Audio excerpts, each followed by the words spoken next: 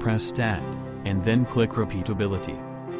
The sampling needle will move to the sampling position automatically.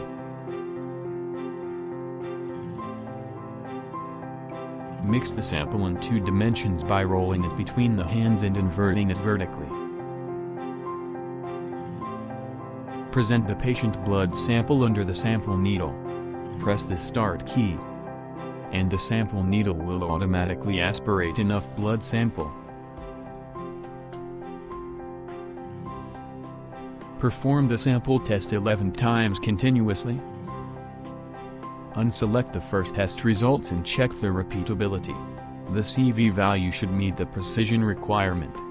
If the analyzer fails the repeatability test, please contact Edan or your authorized distributors for assistance.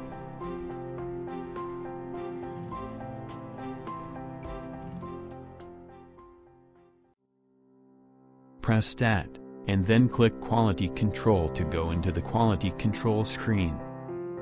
There are 12 quality control files, select one of the files on the quality control screen. Press Change to edit the quality control information. Input the lot number, level, expiry day, target, and limit value manually according to the quality control target sheet. Or we can use a USB to load the quality control information automatically. Connect the USB containing the target sheet to the analyzer. Press slow to upload the quality control information. Press yes to save the quality control information. Select the desired lot number of the quality control, and press results to enter quality control results screen. The sample needle will move to the sampling position automatically. Take the tubes from the refrigerator and equilibrate it at room temperature, 15 degrees centigrade to 30 degrees centigrade, for at least 15 minutes prior to mixing. Mix the quality control material in two dimensions by rolling it between the hands and inverting it vertically.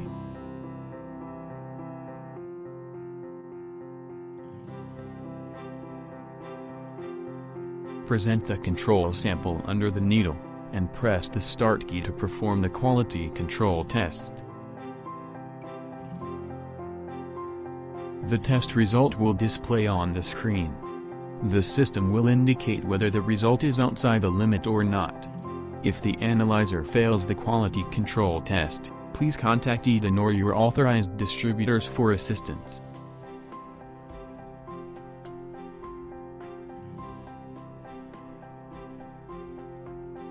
Press Stat, and then click Calibration to go into the calibration screen. Press Change to edit the calibrator information. Input the lot number, expiry day, target and limit value manually according to the calibrator target sheet. Or we can use a USB to load the calibrator information automatically. Connect the USB containing the target sheet to the to the analyzer. Press slow to upload the calibrator information. Press yes to save the information. Press results to enter calibration results screen. The sample needle will move to the sampling position automatically. Mix the calibrator in two dimensions by rolling it between the hands and inverting it vertically.